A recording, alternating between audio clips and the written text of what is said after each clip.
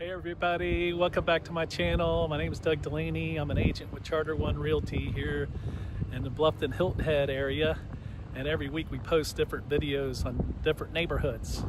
And today we're on a cold, we're in a cold December day, first day of December, and we're in Hampton Hall. It's a great neighborhood with great houses and school district. I think you're gonna like this tour. So stay tuned.